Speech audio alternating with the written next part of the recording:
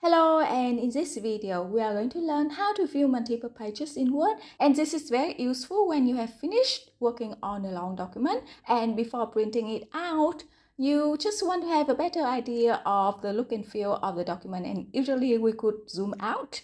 But then you can see that if I zoom out even if I zoom out to very small the Zoom level is now 16%. I could still only see one page at a time and what I really want to do is to see multiple pages.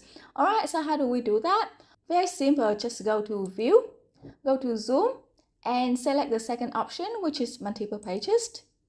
And now you can view multiple pages at a time. So now the zoom level is 54% and I can see three pages at a time. Okay, and now if I zoom out to 24%, then I can see five pages at a time. And this is very important when uh, you have a long document and you want to make sure that the images, tables, and chart are properly formatted. Alright, and that's it. Happy learning and see you in the next video.